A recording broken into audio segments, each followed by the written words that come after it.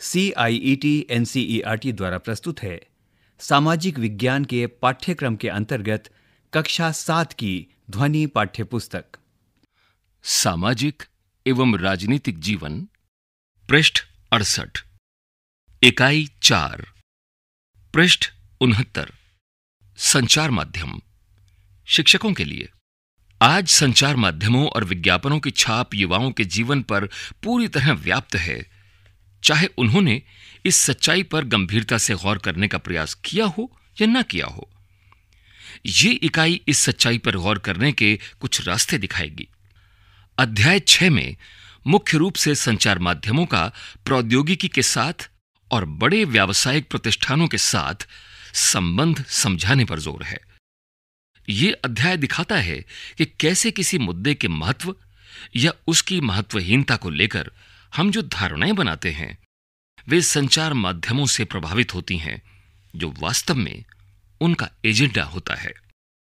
ये अध्याय संचार माध्यमों के व्यापक प्रभावों से हमें परिचित कराता है और हमारे जीवन से इन मुद्दों को जोड़ने का प्रयास करता है। अध्याय के अंत में हमारी ये अपेक्षा होगी कि विद्यार्थी ये पहचानने लगें कि बड़े व्यावसायिक प्रतिष्ठानों की संचार माध्यमों में छा रही खबरों को तय करने में क्या भूमिका होती है?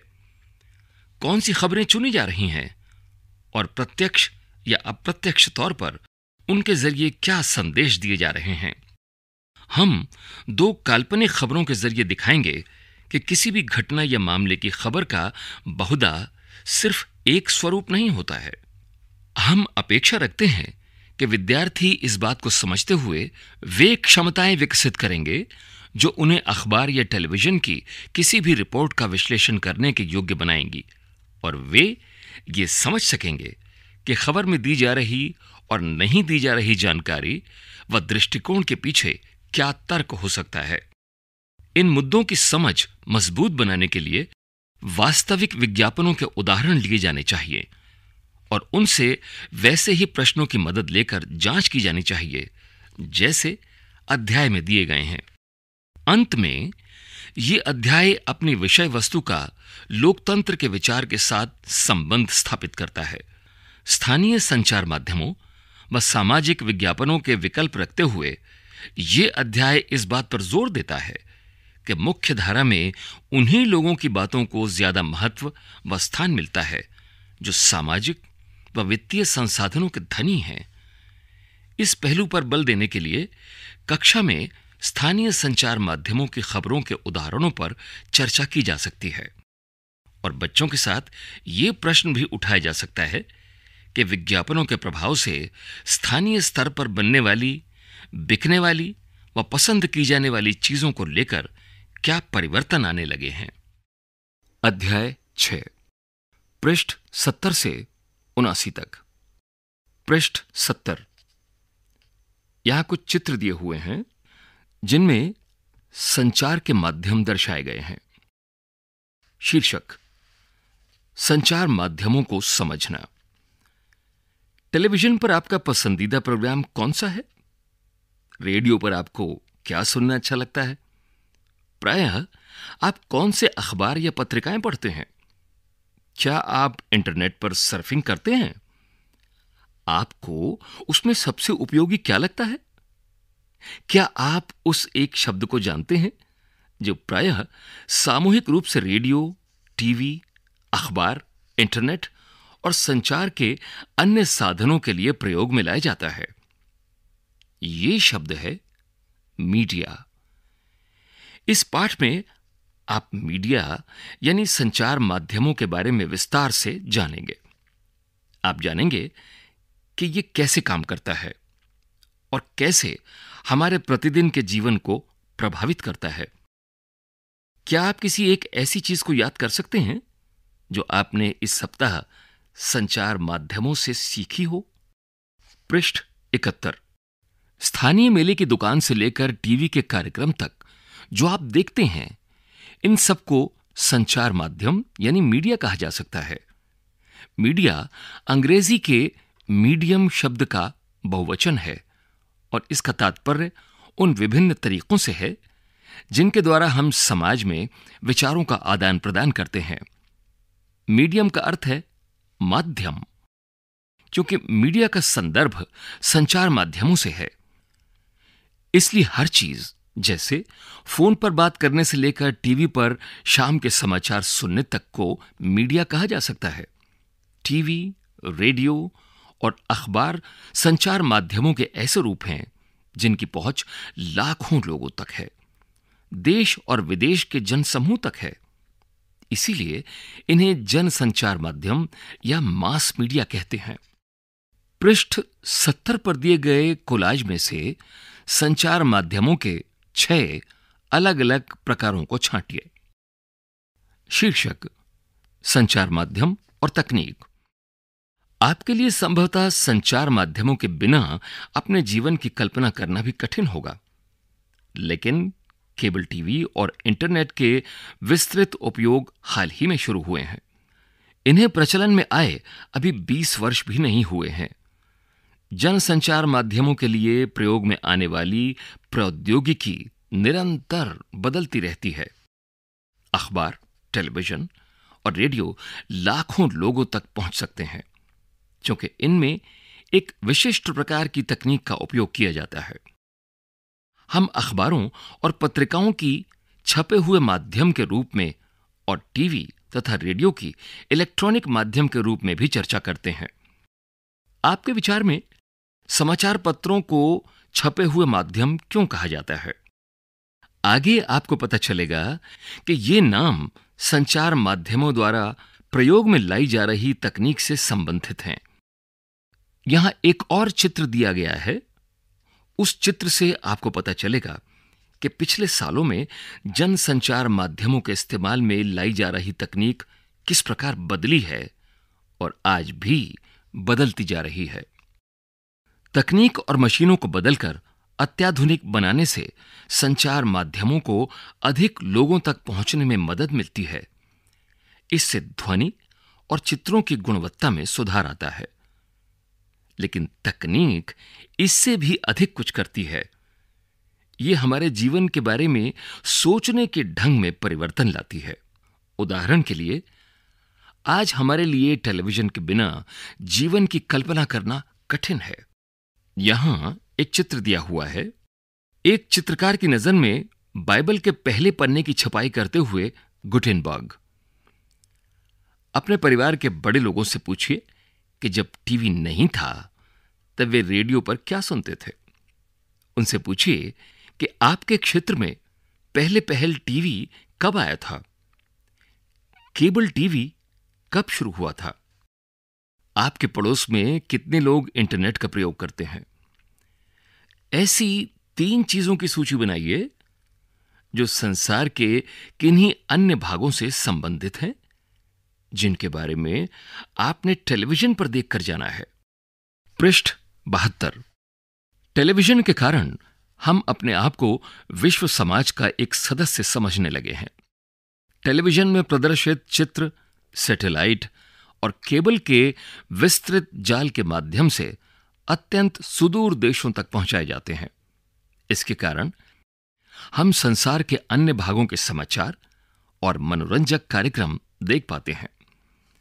आप टीवी पर जो कार्टून देखते हैं, वे अधिकांशतः जापान या संयुक्त राज्य अमेरिका के होते हैं। अब हम चेन्नई या जम्मू में बैठकर अमेरिका में फ्लोरिडा के समुद्री तूफ़ान की छवियों को देख सकते हैं। टेलीविज़न ने दुनिया को बहुत पास ला दिया है। यहाँ एक चित्र है। 1940 के दशक में इलेक्ट्रॉनिक टाइपराइटर के आ जाने से पत्रकारिता की दुनिया में एक बड़ा बदलाव आया। शीर्षक, संचार के माध्यम और धन। जनसंचार द्वारा उपयोग में लाई जाने वाली विभिन्न तकनीकें अत्यंत खर्चीली हैं। जरा टीवी स्टूडियो के बारे में सोचिए। यहाँ पर समाचार वाचक बैठता है। इसमें लाइटें, कैमरे, ध्वनि रिकॉर्ड करने के यंत्र, संप्रेषण के लिए सैटेलाइट आदि हैं। इन सभी का मूल्य बहुत अधिक है। समाचार के स्टूडियो में केवल समाचार वाचक को ही वेतन नहीं दिया जाता, बल्कि और बहुत सारे लोग हैं जो प्रसारण में सहायक होते हैं। इसमें वे लोग सम्मिलित हैं जो कैमरे व प्रकाश की व्यवस्था करते हैं। जैसा कि आपने अभी अभी जाना, संचार माध्यम निरंतर बदलते रहते हैं। इसलिए नवीनतम तकनीक जुटाने पर भी बहुत धन व्यय होता है। इन खर्चों के कारण जनसंचार माध्यमों को अपना काम करने के लिए बहुत अधिक धन की आवश्यकता होती है।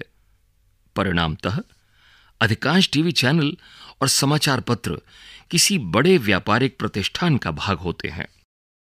यहाँ एक चित्र और है। ये यंत्र, टेलीवाइजर, टेलीविज़न का प्रारंभिक रूप था। अपने इस आविष्कार के सामने बैठे हैं जॉन एल. बैड। इस यंत्र के द्वारा उन्होंने रॉयल इंस्टीट्यूट के समक्ष अपने आविष्कार का प्रदर्शन किया था। अपने प्रिय टीवी कार्यक्रम के दौरान विज्ञापित होने वाली तीन चीज़ों की सूची बनाइए। एक समाचार पत्र लीजिए और उसमें दिए गए विज्ञापनों की संख्या गिनिए। कुछ लोग कहते हैं कि समाचार पत्रों में बहुत अधिक विज्ञापन होते हैं। क्या आप सोचते हैं कि यह बात सही है? यदि हाँ तो क्यों? जनसंचार माध्यम लगातार धन कमाने के विभिन्न तरीकों के बारे में सोचते रहते हैं। एक तरीका जिसके द्वारा जनसंचार माध्यम धन अर्जित करते हैं। विभिन्न वस्तुओं के विज्ञापन का है, जैसे कारें, चॉकलेट, कपड़े, मोबाइल फ़ोन आदि। आपने ध्यान दिया होगा कि अपने प्रिय टेलीविज़न कार्यक्रम को देखते हुए आपको ऐसे अनेक विज्ञापन देखने पड़ते हैं। टेलीविज़न पर क्रिकेट का मैच देखते हुए भी हर ओवर के बाद बार बार वही विज्ञापन दिखाए जाते हैं। इस तरह प्रायः बार बार आप उन्हीं छवियों को देखते हैं, जैसा कि आप आगे सुनेंगे। पृष्ठ तिहत्तर। विज्ञापनों की बार बार आवृत्ति इस आशा से की जाती है कि आप बाहर जाकर विज्ञापित वस्तु खरीदेंगे। यह एक चित्र है, जिसमें टीवी चैनल का कंट्रोल रूम दिखाया गया है। एक टीवी चैनल में 10 सेकंड के लिए विज्ञापन देने का मूल्य, उसकी लोकप्रियता और समय के आधार पर एक हज़ार रुपए से एक लाख रुपए के बीच पड़ता है। शीर्षक, संचार माध्यम और लोकतंत्र। लोकतंत्र में देश और संसार के बारे में समाचार देने और उनमें होने वाली घटनाओं पर चर्चा करने में संचार माध्यमों की भूमिका अत्यंत महत्वपूर्ण है। उदाहरण के लिए, संचार माध्यमों से नागरिक जान सकते हैं कि सरकार किस प्रकार काम कर रही है। यदि लोग चाहें तो इन समाचारों के आधार पर कार्रवाई भी कर सकते हैं। ऐसा वे संबंधित मंत्री को पत्र लिखकर, सार्वजनिक विरोध आयोजित करके, हस्ताक्षर अभियान आदि चलाकर, सरकार से पुनः उसके कार्यक्रम पर विचार करने का आग्रह करके कर सकते हैं।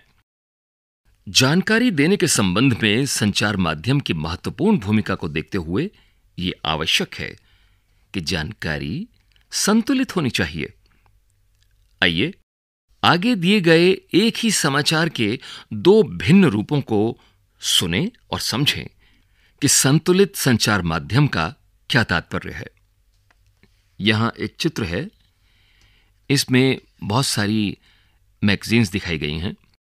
अलग अलग पाठकों की पसंद को देखते हुए छपाई वाले माध्यम कई तरह की जानकारियाँ उपलब्ध कराते हैं।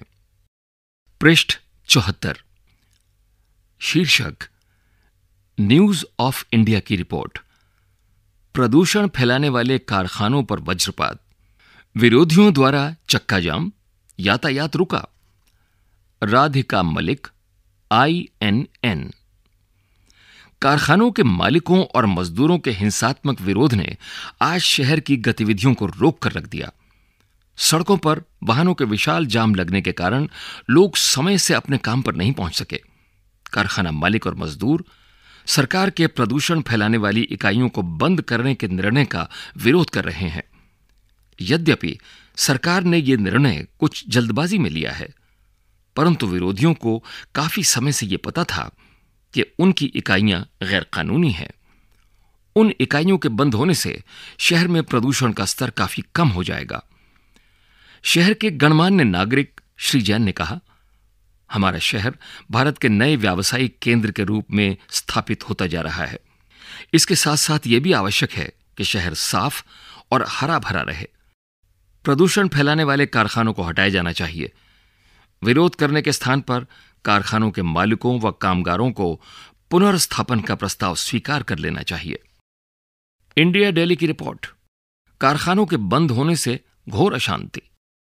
Daily news service. शहर के आवासीय क्षेत्र में एक लाख कारखानों का बंद होना एक गंभीर समस्या का रूप ले सकता है। सोमवार को हज़ारों कारखाना मालिक व कामगार कारखाना बंदी पर अपना कड़ा विरोध जताने के लिए सड़कों पर उतर आए। उन्होंने कहा कि इससे उनकी रोजी रोटी छिन जाएगी। उनका कहना है कि गलती नगर निगम की है, क्योंकि वो आवासीय क्षेत्रों में लगातार नए कारखाने लगाने के लाइसेंस देता रहा। उन्होंने ये भी कहा कि उनके पुनर्स्थापन के लिए पर्याप्त प्रयत्न नहीं किए गए। कारखानों के मालिकों व मजदूरों ने कारखाने बंद करवाने के विरोध में शहर में एक दिन का बंद प्रस्तावित किया है। एक कारखाने के मालिक श्री शर्मा ने कहा सरकार कहती है कि उसने हमारे पुनर्स्थापन के लिए बहुत कार्य किए हैं, लेकिन जिस प्रकार के क्षेत्र वो हमें दे रही है, वहाँ किसी प्रकार की सुविधाएँ नहीं है और पिछले पाँच वर्षों में वहाँ कोई विकास कार्य नहीं हुआ है। क्या दोनों समाचार पत्रों में दिया गया विवरण एक जैसा है? आपके विचार से इनमें क्या क्या समानताएँ और अंतर हैं?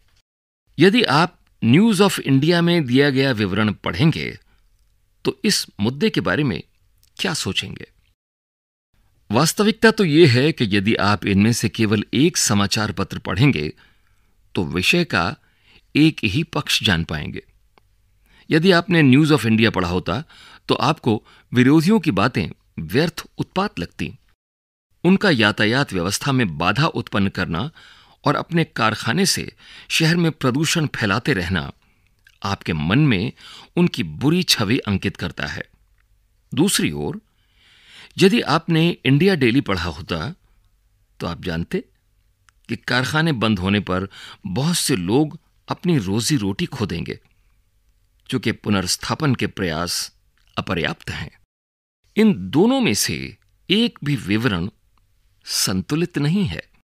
संतुलित रिपोर्ट वो होती है जिसमें किसी भी विषय पर हर दृष्टिकोण से चर्चा की जाती है। फिर पाठकों को स्वयं अपनी राय बनाने के लिए स्वतंत्र छोड़ दिया जाता है। संतुलित रिपोर्ट लिख पाना संचार माध्यमों के स्वतंत्र होने पर निर्भर करता है। स्वतंत्र संचार माध्यमों से तात्पर्य यह है कि उनके द्वारा दिए जाने वाले समाचारों को कोई भी नियंत्रित या प्रभावित न करे।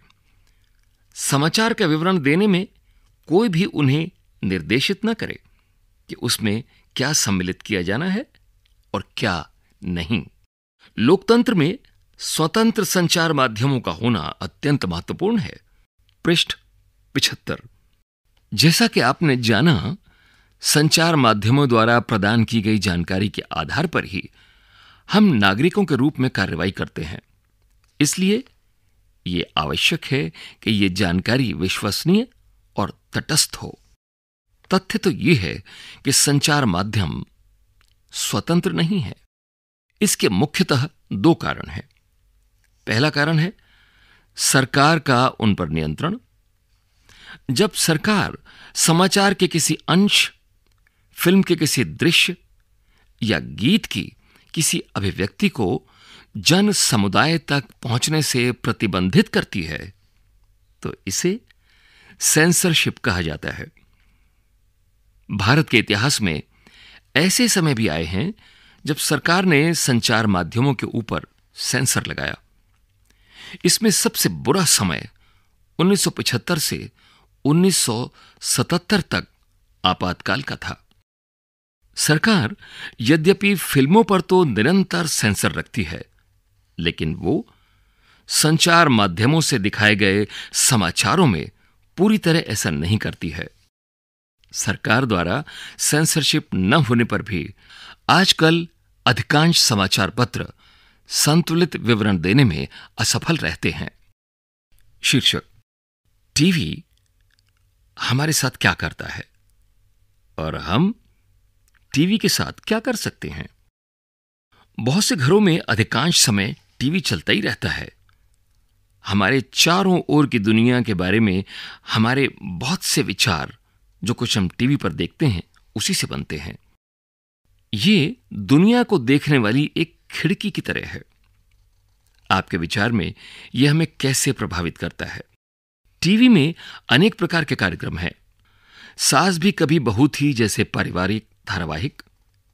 खेल कार्यक्रम, जैसे कौन बनेगा करोड़पति। वास्तविक जीवन को दर्शाने वाले कार्यक्रम, जैसे बिग बॉस, समाचार, खेल और कार्टून आदि। हर कार्यक्रम के पहले बीच में और अंत में विज्ञापन होते हैं क्योंकि टीवी का समय बहुत महँगा होता है। इसलिए केवल वे ही कार्यक्रम दिखाए जाते हैं जो अधिकतम दर्शकों को आकर्षित कर सकें। आपके विचार में ऐसे कौन से कार्यक्रम हो सकते हैं? उन चीज़ों के बारे में सोचिए, जो टीवी पर दिखाई जाती हैं या नहीं दिखाई जाती। टीवी हमें अमीरों के जीवन के बारे में अधिक दिखाता है या गरीबों के? हमें यह सोचने की ज़रूरत है कि टीवी का हम पर क्या प्रभाव पड़ता है। यह दुनिया के बारे में हमारे दृष्टिकोण, हमारे विश्वासों, हमारे रुख और मूल्यों को कैसे बनाता है? हमें यह समझने की ज़रूरत है कि यह हमें संसार का अधूरा दृश्य ही दिखाता है। अपनी पसंद के कार्यक्रमों का आनंद लेते हुए भी हमें यह नहीं भूलना चाहिए कि टीवी के पर्दे से हटकर भी एक उत्सुकता भरा बड़ा संसार है। दुनिया में ऐसा बहुत कुछ हो रहा है, जिसकी ओर टीवी ध्यान नहीं देता है। फ़िल्म स्टारों, सुप्रसिद्ध व्यक्तियों और धनाढ़ जीवन शैलियों से परे भी ऐसा संसार है, जहाँ हम सबको पहुँचना चाहिए। और विभिन्न प्रकार से अपनी प्रतिक्रिया व्यक्त करनी चाहिए। हमें ऐसा सजग दर्शक बनना चाहिए जो कार्यक्रमों का आनंद भी ले और देखे गए और सुने गए प्रसंगों पर प्रश्न भी उठाए। पृष्ठ छिहत्तर। समाचार पत्र संतुलित विवरण देने में असफल रहते हैं। इसके कारण बहुत जटिल हैं। संचार माध्यमों के विषय में शोध करने वाले लोगों का कहना है कि ऐसा इसलिए है क्योंकि संचार माध्यमों पर व्यापारिक प्रतिष्ठानों का नियंत्रण है। कई बार किसी विवरण के एक पक्ष पर ही ध्यान केंद्रित कराना इनके हित में होता है। संचार माध्यमों द्वारा निरंतर धन की आवश्यकता और उसके लिए विज्ञापनों पर निर्भरता के कारण भी उन लोगों के विरोध में लिखना कठिन हो जाता है, जो विज्ञापन देते हैं। इसलिए व्यापार से गहन जुड़ाव होने के कारण अब संचार माध्यमों को स्वतंत्र नहीं समझा जाता। शीर्षक, मसौदा तय किया जाना। किन घटनाओं पर ध्यान केंद्रित किया जाए, इसमें भी संचार माध्यमों की महत्वपूर्ण भूमिका होती है और इसी के आधार पर वो ये तय कर देते हैं कि क्या समाचार में दिए जाने योग्य है। उदाहरण के लिए, आपके विद्यालय के वार्षिकोत्सव की खबर शायद समाचार में दिए जाने योग्य नहीं होगी। लेकिन यदि कोई प्रसिद्ध अभिनेता उसमें मुख्य अतिथि के रूप में आमंत्रित हो तो संचार माध्यमों की रुचि इसे समाचारों में सम्मिलित करने की हो सकती है। कुछ खास विषयों पर ध्यान केंद्रित करके संचार माध्यम हमारे विचारों, भावनाओं और कार्यों को प्रभावित करता है और हमारा ध्यान उन मुद्दों की ओर आकर्षित करते हैं। हमारे जीवन पर महत्वपूर्ण प्रभाव डालने और हमारे विचारों को निर्मित करने में मुख्य भूमिका होने के कारण ही प्रायः ये कहा जाता है कि संचार माध्यम ही हमारा मसौदा या एजेंडा तय करते हैं। अभी हाल ही में संचार माध्यमों ने कोलापेयों में कीटनाशकों का स्तर खतरे के स्तर तक बढ़े हुए होने की ओर हमारा ध्यान आकर्षित किया था। उन्होंने कीटनाशकों के अत्यधिक मात्रा में होने की रिपोर्ट प्रकाशित की थी। और इस तरह हमें कोला पेयों को अंतर्राष्ट्रीय गुणवत्ता व सुरक्षा मापदंडों के अनुसार नियमित रूप से नियंत्रित करने की आवश्यकता महसूस कराई। यहाँ एक चित्र है, इसमें विभिन्न पेय पदार्थ दर्शाए गए हैं। लिखा है down to earth soft drinks hard truth पृष्ठ सतहत्तर। उन्होंने सरकार के दबाव के बावजूद निडरतापूर्वक घोषणा की कि कोला पीना सुरक्षित नहीं है। इस वृतांत को पेश करके संचार माध्यमों ने निश्चित रूप से हमारा ध्यान ऐसे विषय पर केंद्रित करने की कोशिश की है, जिस पर यदि उनको रिपोर्ट ना आती तो हमारा ध्यान भी ना जाता। कई बार ऐसी घटनाएँ हो जाती हैं जब संचार माध्यम उन विषयों पर हमारा ध्यान केंद्रित कराने में असफल रहते हैं, जो हमारे जीवन के लिए महत्वपूर्ण है। उदाहरण के लिए, पीने का पानी हमारे देश की एक बड़ी समस्या है। प्रतिवर्ष हज़ारों लोग कष्ट सहते हैं और मर जाते हैं, क्योंकि उन्हें पीने के लिए सुरक्षित पानी नहीं मिलता। फिर भी, संचार माध्यम हमें इस विषय पर बहुत ही कम चर्चा करते हुए दिखते हैं। एक सुविख्यात भारतीय पत्रकार ने लिखा है कि कैसे वस्त्रों को नया रूपाकार देने वाले डिजाइनरों ने फ़ैशन वीक में धनवानों के समक्ष अपने नए वस्त्र प्रदर्शित करके सभी समाचार पत्रों के मुख्य पृष्ठ पर स्थान पा लिया। जबकि उसी सप्ताह मुंबई में अनेक झोपड़पट्टियों को गिरा दिया गया, पर किसी ने इस पर जरा सा भी ध्यान नहीं दिया। एक चित्र है। इसमें फ़ैशन शो हो रहा है।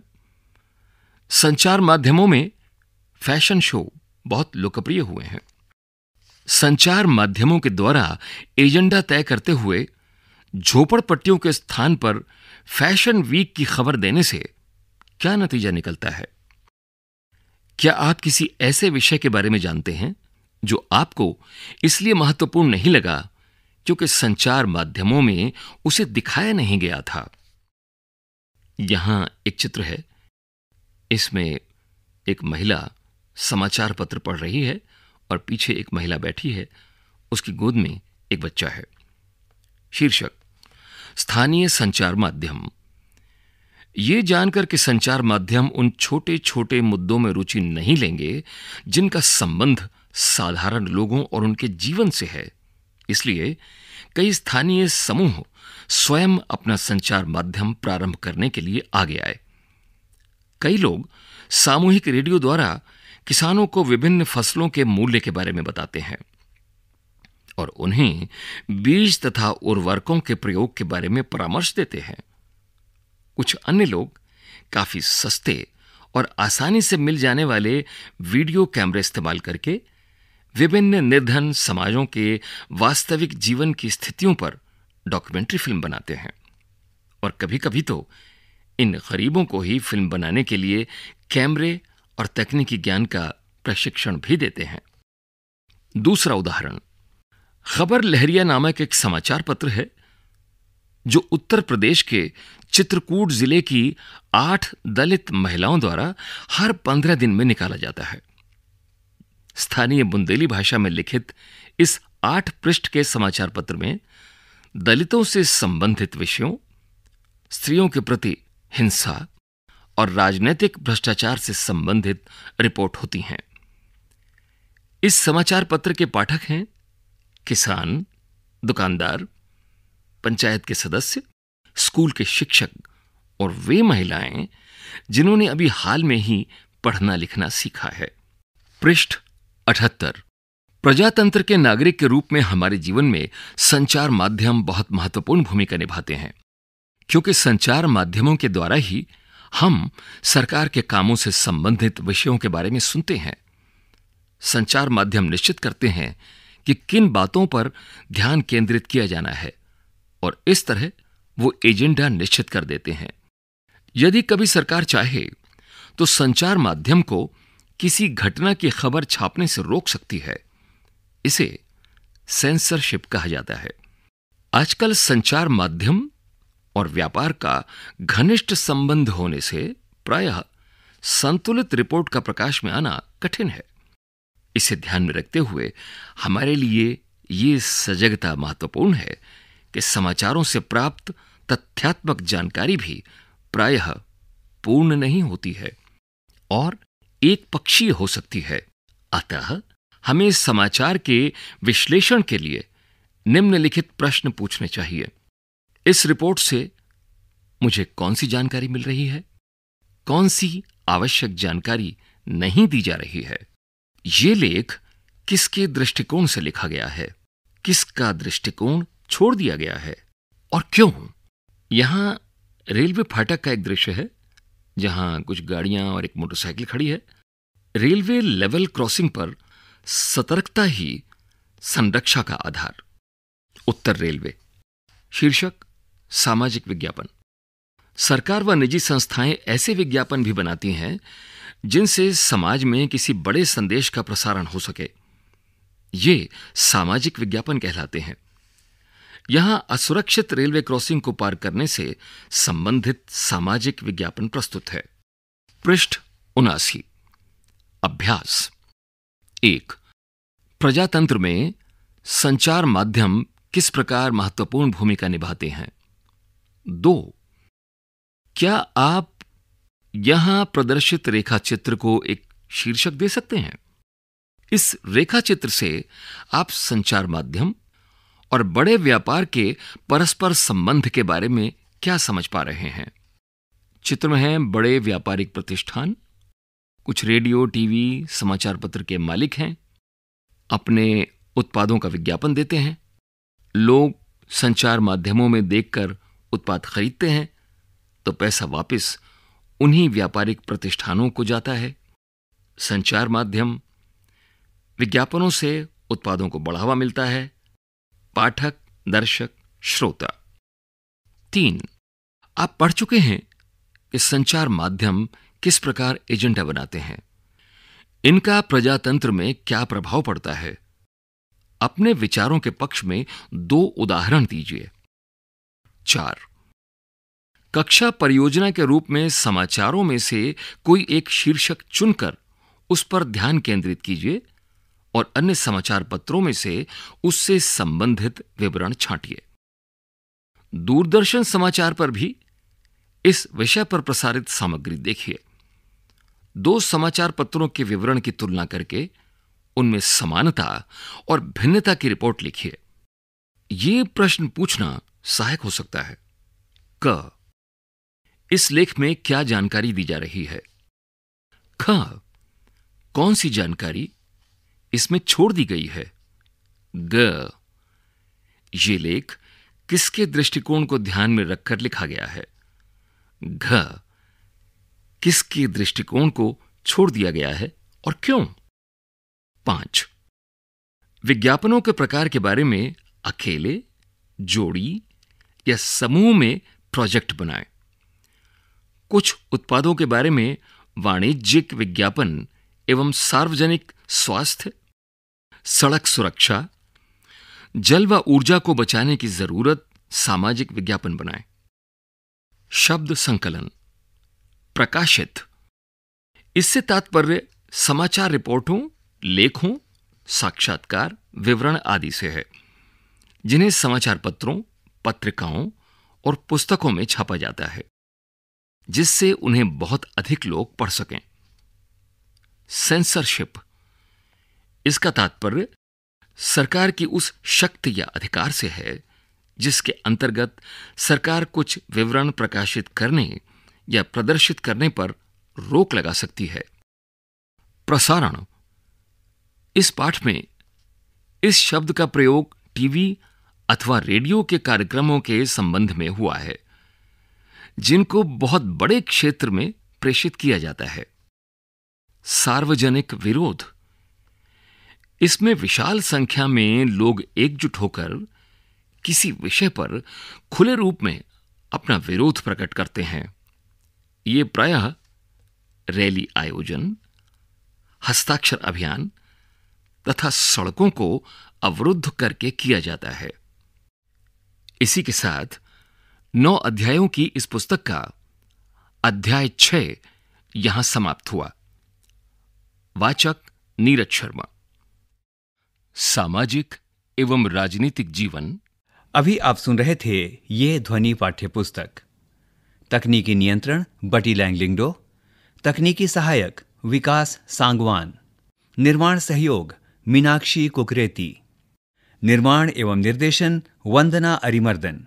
तथा प्रस्तुति C I E T N C E R T New Delhi, Bharat.